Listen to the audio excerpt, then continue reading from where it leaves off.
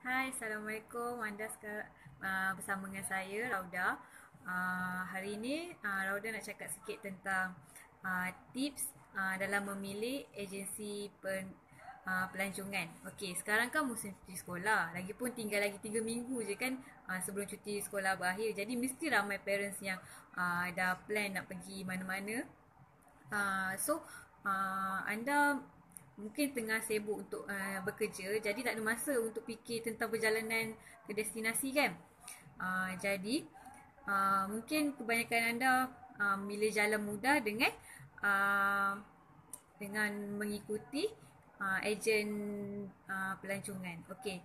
Jadi uh, tips yang pertama kita kena tahu eh, kita kena buat uh, kajian tentang harga. Uh, harga dan kos uh, perjalanan kita. Okay. Uh, yelah, maybe kalau kita ambil dari, mungkin kalau kita ambil uh, agensi pelancongan, kos dia tinggi.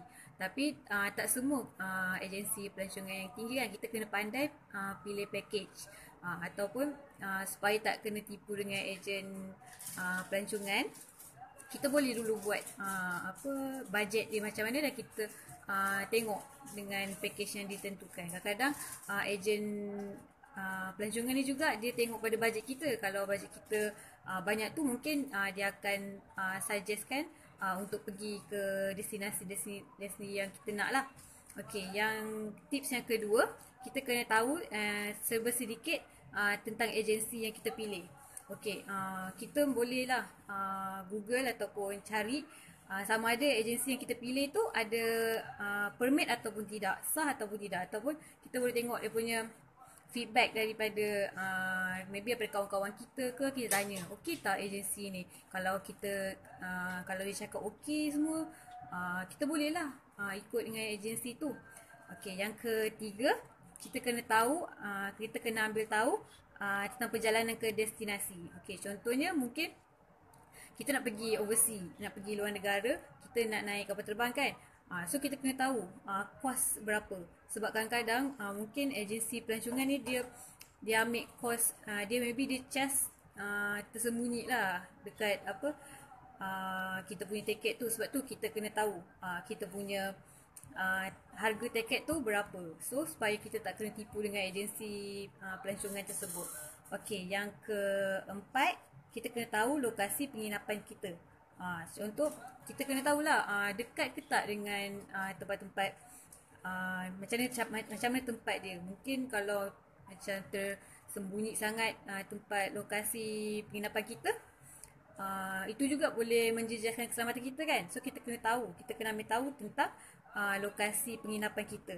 Uh, maybe kita kena tengok dia dekat tak dengan uh, fasiliti seperti kedai serba serba nikah. Kalau macam kita nak beli makan makanan ringan pun boleh beli kat situ kan. So senanglah. Okey, uh, tips yang kelima, tips akhir uh, ialah kita kena tahu cara pembayaran uh, agensi pelancongan tersebut.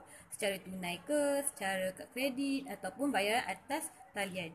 Sebab uh, kita tak nak kena tipu lah. Takkan nak kita nak baik kita dah bayar lepas tu uh, dia bawa lari duit kita kan. So kita kena tahu cara pembayaran tu macam mana supaya kita tak kena tipu dengan uh, kita uh, ejen agensi pelancongan tersebut.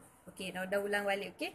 Uh, lima tips uh, lima tips dalam memilih uh, agensi pelancongan. Okey yang pertama uh, kita kena buat kajian tentang harga yang kedua, uh, kena tahu serba sedikit tentang agensi pelancongan kita. Yang ketiga, uh, kita kena tahu perjalanan ke destinasi tu.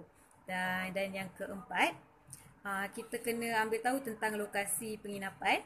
Dan yang kelima, terakhir sekali, kena tahu cara pembayaran kepada agensi